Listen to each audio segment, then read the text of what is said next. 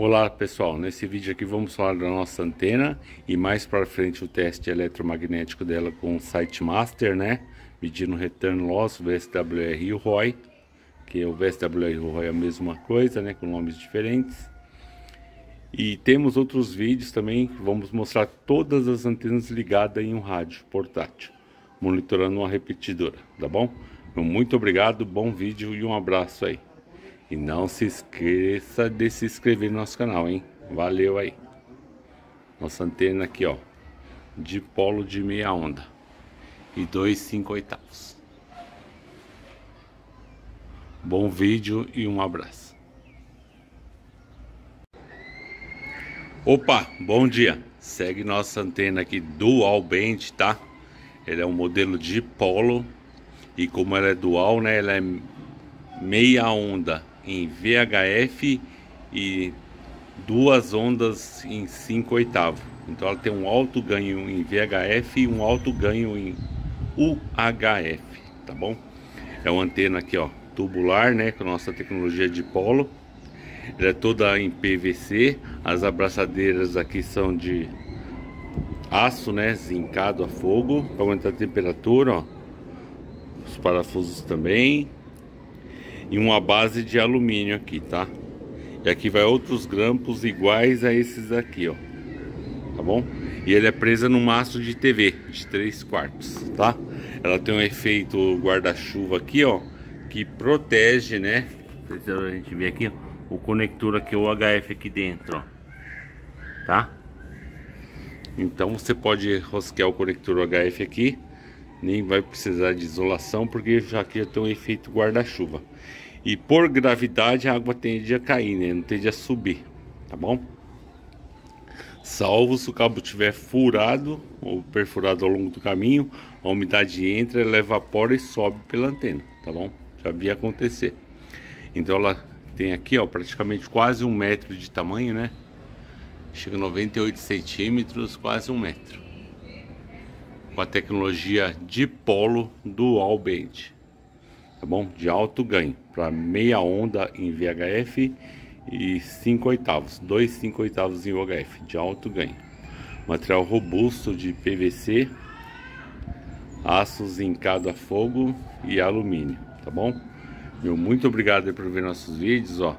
Deixe, se inscreva-se no canal se possível e deixe seus comentários. E mais para frente aqui, ó, Cadê meu vídeo?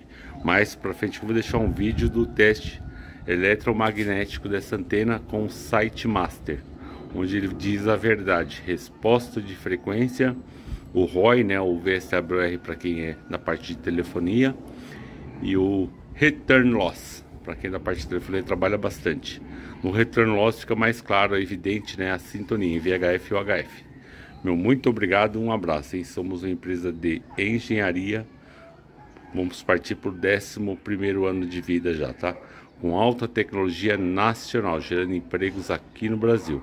Meu muito obrigado, um abraço e até a próxima.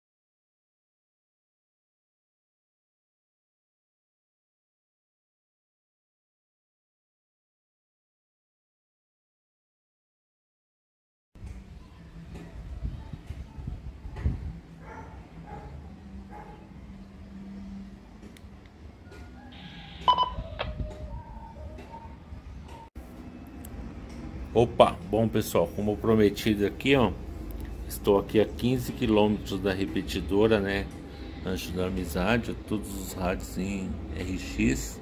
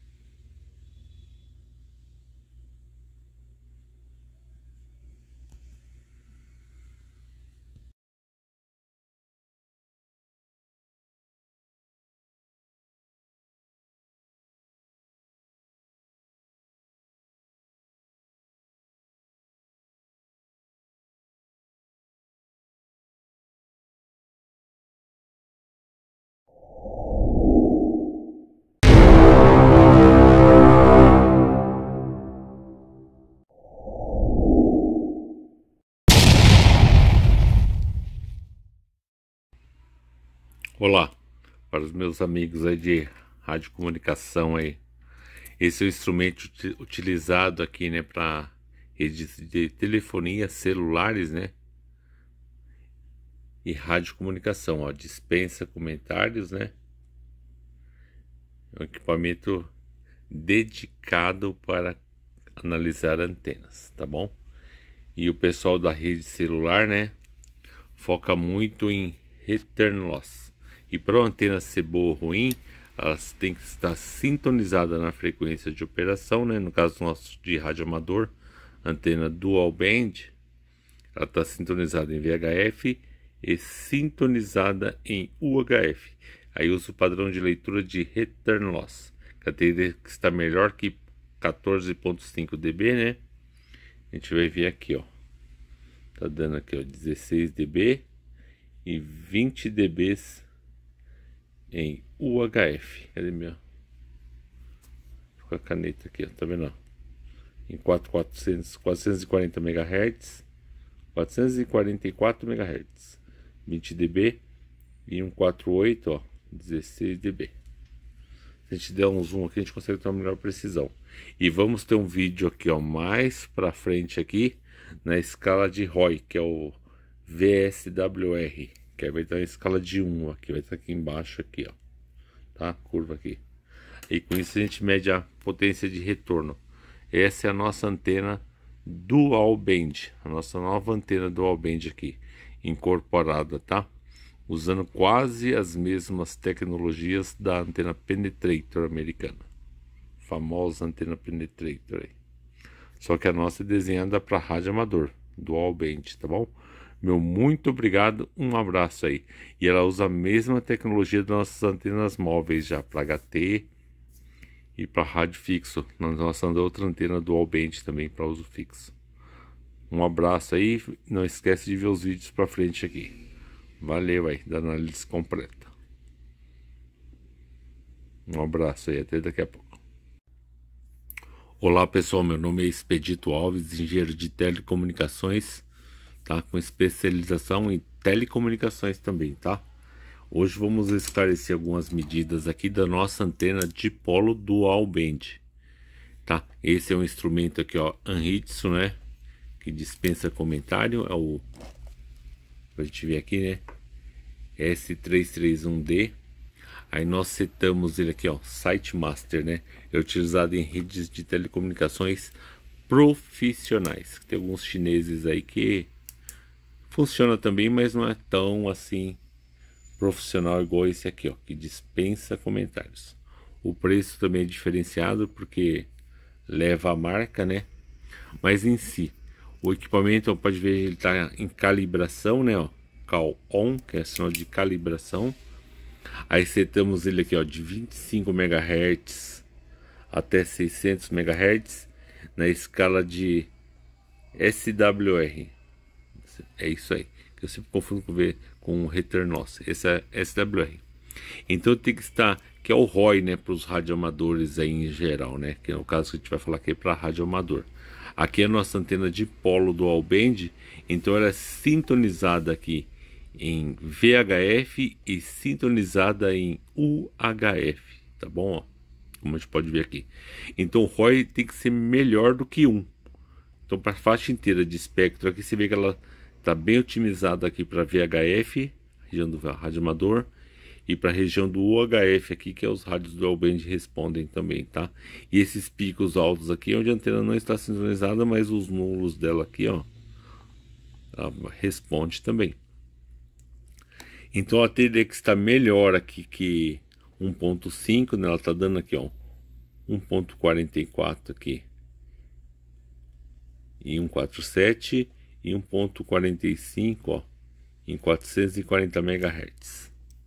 E é isso aí, senhores. É muita pesquisa, né? E muito desenvolvimento para chegar nesse ponto aqui. Somos uma empresa com mais de 10 anos de mercado. Já estamos chegando no 11 ano de mercado já. E uma antena não é só o VSWR, tá bom. Elas tem que estar sintonizada na frequência, né? Tem que ter ganho. No caso, essa dipolo que é uma dipolo nossa de meia onda de aço inox regime tubular. Em breve eu vou fazer um conjunto dos dois vídeos aí ela ligada no rádio também, tá bom? E é isso aí, pessoal. Muito obrigado aí por ver nossos vídeos, seguir nosso canal. Se inscreva aqui se não for inscrito no nosso canal e deixe seus comentários aqui, tá? Meu muito obrigado, um abraço e estamos juntos aí. Até o próximo vídeo. Valeu aí.